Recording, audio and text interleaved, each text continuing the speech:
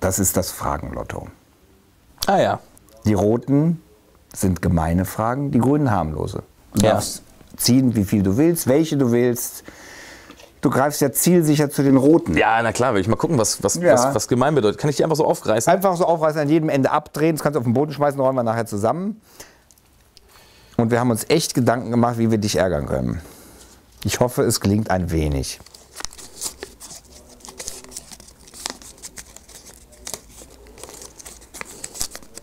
Oh, wie lange dauert das denn? das habe ich. Jedes Album wird bei dir anders als das zuvor. Stellst du deine Fans damit nicht auf eine harte Probe? Ja, na klar. Logisch. Also. Aber wie langweilig, ne? Also, Ja. das, das, kann man irgendwie machen, wenn man jetzt so Gruyère gerne mag. Dann gehe ich irgendwie in den Bioladen. Wer ist Gruyère? Gruyère ist so ein Käse oder so. Ich, hab- ich wollte es einfach nur mal so. Okay, ja, gut. Also wenn ich jetzt so Gruyère gerne mag, dann gehe ich eben in meinen Bioladen und kann mir da immer so dasselbe kaufen. Und ich weiß auch wirklich dann immer, wie der schmeckt und so. Und, ähm, Dir nicht. Doch, ich mag das auch. Also ich finde das auch toll. Also weil ich finde, das ist auch ein guter Käse sogar, ne? Ja, aber bei dir weiß man nicht, dass da immer Gruyère oder Bosse drin ist. Ist doch super, oder? Also da kann man, Überraschungstüte. ja, so ein Stück weit. Also man hat ja Ja, heutzutage schon, schon die Möglichkeit, vorher auch mal so reinzuhören und so, ne? Aber ähm, ja, ich will eben nicht so dieser, ich habe eben keinen Bock, so, so ein Voraus... Also darum geht es auch gar nicht, sondern es geht darum, dass es mich erstmal kickt. So, Ja, ne? okay. Wenn es mich nicht kickt, denke ich immer, dann kannst du die Leute auch nicht kicken. Also die haben auch nicht so viel mit mir zu tun. Die kaufen sich dann ein Album oder kommen auf ein, zwei Konzerte, sehen es vielleicht noch mal im Sommer auf dem Festival, dann bin ich erstmal wieder weg. Ne? Aber es gibt ja auch andere, die das wirklich die ganze Zeit hören. Und ich, ich denke dann manchmal irgendwie, das geht jetzt gar nicht an so Bands, die sich wiederholen oder die so denselben Sound fahren oder so. Aber ich, für mich ist, muss es irgendeine Grundveränderung geben, damit ich selber gekickt bin und dann habe ich auch das Gefühl, dass ich damit auch wieder Leute kicken kann, weil, weil es mich selber begeistert. So, ne? Und ja, und ich will irgendwie nicht der alte Gruyère in der Käsetheke sein, den man Okay. sich immer wieder kauft und immer wieder weiß, ach, das ist doch der Gruyère. Weil dafür gibt es genug rote Fäden bei mir. Also meine Texte und meine Stimme und auch das Songwriting ist ja irgendwie, das sind immer Pop-Songs oder Singer-Songwriter-Songs und da gibt es genug rote Fäden, die sich sogar durch alle Alben durchziehen. Ich übrigens, ich habe in der, in der Ankündigung gesagt, Deutschrock. Ist es auch Deutschrock oder ist es Singer-Songwriter oder ist das. Willst du da gar nicht in so eine Schublade passen? Ja. Oder in alle oder. Ja, also das ist mir sogar eigentlich auch egal. Ich glaube, das ist Popmusik, ähm, die aber bestimmt. Ich glaube, wenn ich Popmusik gesagt hätte, wäre ich ge geköpft worden. Ist es so? Glaube ich schon. Na, ich also, aber das ich- aber ich- keiner ja. bei dir, das Popmusik. Aber ich darf das sagen. Also Okay, äh, ja. ich weiß nicht, was es ist. Also es ist, es ist bestimmt hier und da auf jeden Fall wirklich filigraner und schlauer gemacht als eine Deutsch-Rock-Platte. Ne? Also Guten Morgen Spinner war, glaube ich, eine Rockplatte, mein, mein zweites Album. Wobei es da auch Momente gibt, die nicht so Wobei rockig ich auch bei dem Album, wenn ich mir das live anhöre, vorstellen kann, dass es ziemlich rockig wird. Ja, es wird offenbar total tanzbar. Also wir proben es ja gerade und ähm, es ist schon so, dass hier und da auch die E-Gitarre eine wichtige Rolle spielt als auf dem Album. Ähm, aber es ist trotzdem schon kein Deutschrock. Ich weiß nicht, ich, ich glaube, es ist Popmusik. Okay. Ja. Aber ich, boah, da bist du der einzige Musiker, der sich gerne mit Popmusiker betiteln Ja, lässt. aber, aber die Beatles sind doch Popmusik. Es ist doch alles Popmusik. Es sind doch alles Songs. Also Beatmusik, die Beatles. ja, okay, aber Ja klar, es Das, ist, was daraus ja, kam. aber ich sag mal gerade ein Künstler in Anführungszeichen, der möchte ja eigentlich keine Popmusik machen, weil das ist ja popular, Populärmusik. Aber ich fand die Frage jetzt überhaupt nicht böse oder so. Habe ich sie gut, hab ich sie gut beantwortet? schade. Oder bin Ja, ich, du hast sie super Oder bin ich abge, abgedriftet? nein, nein, ganz wunderbar. Der Gruyère war eine Also sie, also, ja, sie antwortet, ja, ich weiß nicht, ich erkläre immer so gerne mit so, Mit dass, Käse. dass ich es auch nochmal verstehe. Also, aber ähm, ja, das Wiederholen, ey. Ist, also, ich glaube, ich würde mich echt selber langweilen. Ja.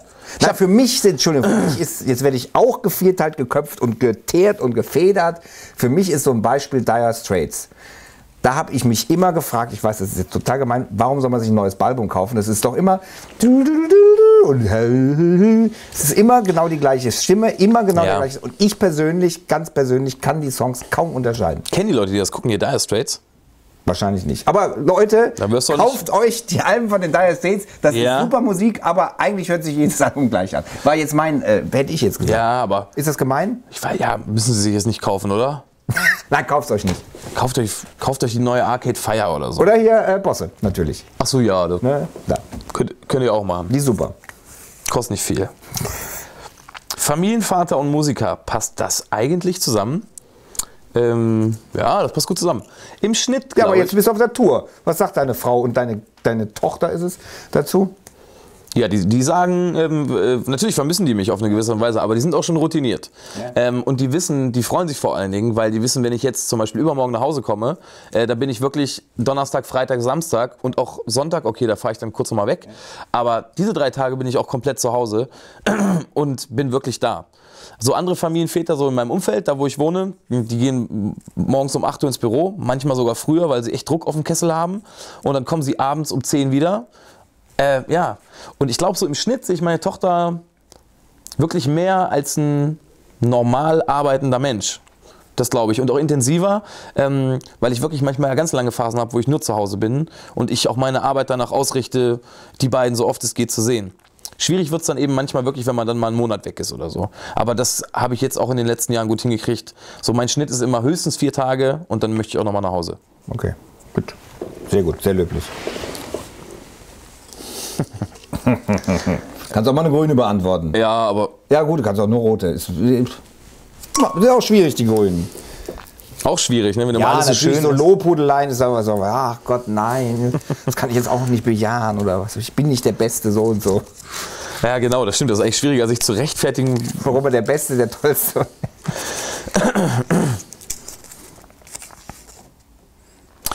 Äh, du fliegst oft in die Türkei und bist mal nach Spanien gezogen, um deine Karriere zu überdenken. Flüchtest du vor Problemen? Nein. Pass auf, weit, weit, weit weg geht es ja auch so ein bisschen darum, Distanz zu gewinnen und Ja, aber das, also mh, eine Distanz zu gewinnen wie in weit weg ist was anderes als eine Flucht. Das ist eine Flucht für, für fünf Minuten oder so, ne? Also wo wir vorhin bei Yoga waren, ist es nicht ganz so esoterisch gemeint wie Yoga. Nur in dem Song geht es mir eigentlich eher darum, gar nicht jetzt nach Tokio ja. oder Also äh, ist das, äh, das Video gedreht worden. Ne? Video gedreht worden, ja. ähm, deswegen lag das so auf der Hand. Da habe ich am Ende gesagt, ja, ja, es geht ja eigentlich nicht darum. Deswegen darf es auch Tokio sein. Aber oder nach, weiß ich nicht, Barcelona äh, zu fliehen. Ähm, und sich dazu verschanzen, weil man irgendwie nicht mehr klarkommt, sondern in dem Song geht es darum, dass man ähm, äh, seine Augen schließt und sich kurz nochmal sammelt, damit man alles das, was gerade um einen rum passiert, irgendwie klarer sehen kann, besser verarbeiten kann. Da geht es eher so um Streit haben, um Burnout-Syndrome, um Druck oder um enge Räume oder so, ne? oder um Deutsche aber Bahn du bei bist ja 60 mal Grad. weg. Du bist ja mal nach Spanien, um zu überdenken. Ich bin weg. Ich bin War aber, das eine Flucht oder war Hm. das keine? naja, also das stand auch, stand auch wieder in so einer Bio, ne? Die Bios sind ja immer ganz, die sind ja auch immer ganz schlau gemacht. Also das, das fällt mir jetzt auch dann immer In so auf. deinem Bios steht nicht viel drin, wenn ich das mal so darf. Nee, ist doch auch schön. Gibt ja auch, so, gibt ja auch gibt ja auch so viel zu sagen. Ne? Man Ja, muss auch immer aufpassen. Ja, ja. Genau, ja. Weil wenn ich jetzt hinschreibe, äh, mag den Fußballverein Eintracht Braunschweig gerne, dann muss ich die ganze Zeit wieder über Fußball reden oder so. Ne? Aber ähm, Ja, du kannst ja 20 rein, Dinge rein. Du machst einfach Braunschweig, bist ein Eishockey-Fan, guckst immer Skilaufen und keine Ahnung was. ja. Und am liebsten stehst du morgens um 13 Uhr auf oder keine Ahnung, was da noch alles drinstehen kann. Na, ich bin, ich bin nach Spanien nicht geflüchtet, sondern ich bin da hingefahren, ähm, äh, weil ich einfach Bock drauf hatte. Also das war ja so, eben Spanien, ne? Valencia, Ibiza, Ibiza, Valencia, zack, zack, hin, Ferien hin und her. Hier mal so ein bisschen habe ich ein paar Pools geputzt, habe ich da ein paar Freunde besucht und so. Und ähm, dass ich, dass ich irgendwie dahin wollte, war sowieso mal schon klar, dass es perfekt gepasst hat, weil sich gerade mal eine Band aufgelöst hat und ich mal Zeit und auch ein bisschen Kohle hatte ähm, und ich das so stemmen konnte. Das hat ganz gut gepasst. Aber da hat man natürlich dann die Möglichkeit, ähm, sich einfach wirklich mal ganz in Ruhe so mal runterfahren und einen neuen Plan machen, sich neu aufstellen, ist natürlich toll, wenn man so ein bisschen ähm, äh, Salzwasser noch um sich rum hat. Gut, okay. Aber das ist so ein bisschen dein Motto auch, Distanz gewinnen zu einem Problem, indem man eben mal die Augen äh, schließt für eine kurze Zeit oder, ja, ich mal eine grüne. Ja, das sind die guten, ne? Ich wollte gerade sagen, Ja. war das jetzt gerade eine grüne? Nee, nee, war keine grüne. Ähm, aber eben mal äh, äh, um Block laufen. Und Blocklaufen ist immer gut. Gerade wenn man eine oder ein neues Wartesaal ist in sich total stimmig. Wie hast du das hinbekommen? Ja, ähm, ich glaube, das ist immer so eine Mischung aus, ähm, aus, aus dem Lied, was man so zu Hause geschrieben hat und aus, und aus dem Text. Und jetzt kommt aber der springende Punkt, ähm, das liegt auch ganz so an dem Typ, mit dem ich zusammenarbeite. Ne? Und an den Mitmusikern, die dann später dazugekommen zum sind. Beispiel Nav da. Ähm, Peter Licht, äh, Polarkreis 18. genau, ich wollte gerade sagen, der Jochen Polarkreis ah, Nav, der auch Polarkreis 18 produziert. Nicht die neue, aber die davor mit Ah ja, Allein okay, Allein okay. und so. Ne? Das hat der Ja, gemacht. Allein Allein, ja, genau. genau. Und ähm, das ist auch schon das zweite Mal, was ich mit dem, was, was ich mit ihm gemacht habe. Wir haben irgendwie, wir haben irgendwie so einen Draht, wir beiden. Mhm. Also wir sind grundverschieden, auch grundverschiedene Musiker. Ähm, aber trotzdem ist es so, dass wir so das mögen, was der andere macht und uns da tierisch befruchten. Ähm, ähm, und total reiben und immer streiten und Aber es kommt was dabei rum. und es kommt immer was dabei rum. Und ich glaube, dass so ein Album so rund wird, liegt am Ende eigentlich vor allen Dingen an dem Typen, weil der dann nochmal rangeht an das, was ich mache. Also, dass ich, das ist dann so der Typ, mit dem ich mich austausche. Ne? Also, ich bin die ganze Zeit immer nur Einzelgänger, ich rede mit niemandem, ich mache gar nichts. Aber irgendwann, wenn das alles fertig ist, die Songs geschrieben, die Texte geschrieben, dann geht es dahin zu gucken, wie will ich das musikalisch machen. Und dafür ist der Typ total wichtig. Also, da hat der einfach so ein. Und deswegen hast du vielleicht auch recht, so, ne, zu der, zu der Frage davor mit dem Pop und so. Da ist dann, glaube ich, auch so, es ist schon eine sehr schlaue Art von Popmusik, wenn es Popmusik ist, weil der Typ eben einfach auch so gut ist. Also der hat, das ist schon ziemlich, hat viel Style, finde ich. Der hat ganz, ganz gute Finger. Gut. Sehr schön. Noch eine zum Schluss, würde ich sagen, rot oder grün? Ja, komm. Gut, okay. Wollen wir uns mal nicht so langweilen mit den, mit den guten Sachen. Es war doch schlecht rot, ne? Ja, rot ist gemein.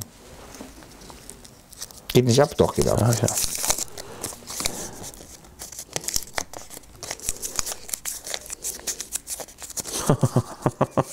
du stehst zu dir und deinen Fehlern. Welche sind das genau? Na, also ich bin schon sehr ungeduldig. Ja. Äh, Fehler Nummer eins. Tierisch nervig für mein komplettes Umfeld. Ich bin, ähm, ich weiß nicht, ob das ein Fehler ist, aber ich bin sehr genau und ich kann mir alles merken. Oh Also- Gott. Ja, das nervt. Du hast vorhin gesagt das. So, so einer bist du. Ja, Oh Gott. Ja, das ist nervig. Ich, pff, ansonsten glaube ich, dass ich. Dass ich sonst gar nicht so ultra viele andere Fehler habe. Was sagt deine Frau? Was wirft ihr dir im Streit vor? Du bist so. Wir streiten uns nie. Echt nicht? Nee. Ehrlich? Oh Gott. Wir haben uns echt. Streit, ich habe mich noch nie. Weiß ich nicht. Nee. Also, ja, ich glaube eben schon, dass ich so. manchmal so ein bisschen zu genau bin. Vielleicht bin ich manchmal so ein bisschen so zu spießig oder so. Das kam auch so auch mit dem Alter. Aber viele Sachen sehe ich echt entspannt und locker. So viele Fehler habe ich nicht, die ich jetzt hier so sagen könnte. Was ist denn noch so? Aber du hast nur Fehler, die du hier nicht sagen kannst. Ja, sicherlich. Also ein paar, paar Sachen kann man nicht sagen. Also ich kann jetzt auch nicht so genau sagen, über was ich mit meiner Frau streite, weil. Also was- streitet schon mal. Da bin ich beruhigt. Ja, man muss nicht streiten. Das wäre ja schrecklich. Das, eine harmonische Beziehung geht ja irgendwann unter. Die Nee, das ist schon klar. ein. Nee, aber so, äh, weiß ich nicht, was, was, was gibt es da noch so für Fehler? Ähm, ich habe totale O-Beine. Es Bist glaub du ich, geritten als Kind, Ja, oder was? nee, ist glaube ich ein genetischer Fehler. Okay. Oder weiß ich nicht. Äh, Fußball spielen war das. Ja. Vielleicht war ich früher ja. zu der Fan von Pierre Barski. Okay. Ich habe so ein bisschen Sch- Platt, Spreiz und Senkfüße, glaube ich. Okay. Muss vielleicht bald mal eine Geht, glaube ich, Einlage. immer miteinander einher. Ich weiß das nicht. Ja, ich glaube, ich habe ich hab alle drei. Hab da den Bingo Super Jackpot gewonnen. Okay, super. Und sonst, ähm, Ja, warum steht dann in deiner Bio, du stehst zu deinen Fehlern, wenn du nichts zu erzählen hast über Fehler? ach so, ja, ähm, da, das, das, das war, glaube ich, so das Thema. Ach, welche Bio war das denn schon wieder? Ich weiß es nicht. Nein, Ich Quatsch, ist egal. verschiedene Das ist eine schöne. Es kam noch eine andere, ne? Ja, ich habe jedenfalls verschiedene. Die fand ich auch nicht schlecht, die zweite. Aber ähm, nee, ich glaube, ein Fehler so, also mir wurde ja zum Beispiel zu dem ersten, beim ersten Bossheim wurde mir so angekreidet, hey Mann, das ist dieser total ähm, lustige Posterboy von dieser Popband aus Braunschweig. Ich hatte ja vor Bosse schon mal eine Band, Ja, so, ne? mit 17. Und ähm, das wurde mir immer so als Fehler so, Ja. so Ah ja, okay. das war immer so mein Fehler, sechs Sätzen so, ne? Und für mich war das aber nie ein Fehler, sondern für mich war das, also die haben dann immer so getan, als würde ich mich davor verstecken, ähm, dass ich mal in dieser Band gespielt habe, so mit 17, ne? Aber für mich war das so der große Start. Ich glaube, das meint so diese Bio. Gut. Ah ja, okay. Dass ich, dass ich da, dass es für mich überhaupt total dazugehört und das war die, das war die goldene Zeit in meinem Leben, weil da ging das alles so los. Da musst du diese Frage jetzt doch noch beantworten. Also,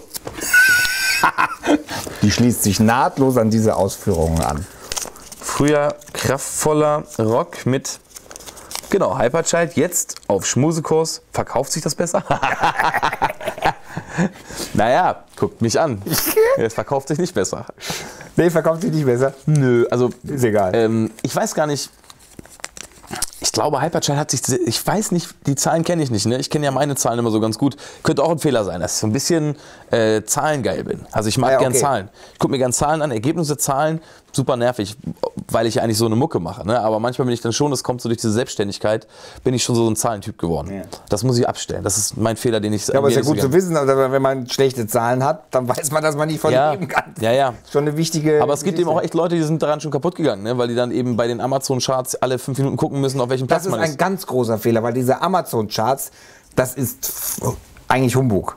Weil äh, wir haben ja auch ein Buch, ein YouTube-Buch, was da jetzt schon vorbestellt werden kann. Und das ist mal da, mal da, mal da, mal da, mal da, mal da. Das eiert da durch die Gegend. Weil, wenn man hinten ist, jede Bestellung wirkt sich dramatisch aus. Ja, das Und stimmt. das ist total bescheuert. Und das hat auch irgendwas mit tausend anderen ich, ignorieren, glaube ich. Wenn die Schwester bestellt, gehst du beim Buch wahrscheinlich wirklich gleich 30.000 Plätze. ja, natürlich wenn du irgendwo hinten Gut, bist. machst du dir ein sehr gutes Gefühl, kurz nochmal selber bestellen. Genau, Und ja. wieder in die Top 10.000. Nee. Aber ähm, was war die Frage nochmal? Verkauft es man besser? nicht besser Schmusekurs. Ja, ja. Also verkauft sich nicht besser. Nee, aber vor allem also auch Schmusekurs ist ja schon eine grundsätzlich durchweg beleidigende Ja, ja, Frage. natürlich, soll's ja auch sein. Ähm, ja. Nee, Schmusi ist auch immer nicht so gut zum Verkaufen, ne? Nee. Nie. Ich glaube, ich glaube, das, was sich wirklich am Ende, ähm, das, was am Ende Leute berührt, ist, glaube ich, immer eine Ehrlichkeit. Das muss auch nicht immer so schmusi sein und so. Und das, was Hyperchat offenbar hatte, weil das war echt eine grundehrliche Sache. Ich will nicht, ich will jetzt gar nicht ähm, dagegen anreden, dass das eine uncoole Sache war. Finde ich irgendwie auch. Also würde ich jetzt auch, wenn ich so eine Band heute sehen würde, würde ich denken, oh, Mensch, Mensch, Mensch, Junge, ey, das. Aber dann würde ich auch sagen, na gut, der ist jetzt irgendwie so, so alt wie Kim Frank damals, als er mit echt angefangen hat. Und ähm, wenn man da so in die falschen Kanäle gerät und den falschen Song singt, dann geht es schnell bergab, weil da ist mit der Meinungsbildung ist es eben noch schwierig mit 15, 16, 17. Ne? Da hat man noch viel zu lernen einfach. Und das ist ja auch toll. Trotzdem noch zum Thema Schmusekurs. Wie war der Anteil Frauen äh, oder Jungs, Mädchen bei Hyperchild und wie ist er jetzt? Na, hochinteressant, weil ähm, also sowieso das Publikum hat sich einfach geändert. Ne? Ich kann das Hyperchat-Publikum kann ich auch gar nicht so richtig beschreiben, weil wir auch nie eine eigene Tour gespielt haben oder so. okay. Wir haben sehr viel Festivals gespielt und vor allem so viele Radiofestivals und da kann man das Publikum gar nicht so richtig fassen, weil da ist dann so von der Familie bis zur Oma, äh, bis zum Studenten ist dann auch alles da. Aber ähm, das, was sich heute geändert hat, ist, glaube ich, schon, dass mein Publikum, der Schnitt bei den Konzerten, wir haben da bei der letzten Tour mal so ein bisschen geguckt, ist so von 25 Ja. äh, original bis 65. Weil ähm, so Radiosender in Berlin, so ein Radio 1, hören wirklich Leute, die auch ein bisschen älter sind, aber einen guten Musikgeschmack haben. Und bei so einem Potsdam-Konzert hast du das eben genau so. Also da ist eben der Vater, der ist dann so Lehrer und der Sohn, der studiert gerade Lehrer und die beiden sind so zusammen da und gucken sich das an und finden es gut. Und 50-50 ist es zwischen Männern und Frauen. Echt? Ja. Hättest du das erwartet? Weil ich habe festgestellt, das ist so ein typisches Männeralbum, dein Album. Also, oder nicht Männeralbum, weil die Texte sind so gut. Männer hören ja keine Texte. Und ich denke immer bei deinen Stücken, boah, guter Text, guter Text, guter Text. Ja, vielen Dank. Und dann, wenn ich aber das, den Stück, wenn es vorbei ist, weiß ich, hör mal, weit, weit, wo war, wat, wie was war das nochmal? Deswegen habe ich mir extra die Texte nochmal schicken lassen. Ja, ja, verstehe. Ne? Weil Männer können ja die Texte irgendwie mit den Texten nicht. Ja, ja. Und das ist so ein typisches Textalbum, wo man die Texte eben so gut sind, dass ein Mann sie sich nicht merken kann. Ah, verstehe. Aber, Frauen, das ist ja äh, ne, genau umgekehrt. Aber ich habe schon, also so die emotionalsten Reaktionen auf meine Texte kommen Ja. wirklich von Männern. Scheiße ist das wahr. Zum Bleistift. Also die sind dann so, ähm, aber ich kriege auch echt eine Menge Mails und so. Und das sind oft Typen. Also sowas wie, hier, Alter, ich will jetzt irgendwie, ich glaube, ich mache meiner Braut einen Heiratsantrag und so. Und es hat jetzt nicht so wenig auch mit deinem Song XY zu tun. Und vielen Dank nochmal. Und du hast mir so ein bisschen emotional die Augen geöffnet und so. Und da fehlt das, also dann, das sind dann oft die Männer, die sich dann plötzlich so öffnen. Ne? Aber auch natürlich dann wahrscheinlich mit einer falschen E-Mail-Adresse. Okay, trotzdem wünsche ich dir, dass du noch viele Männer öffnest. Ja. Danke dir. Vielen Dank.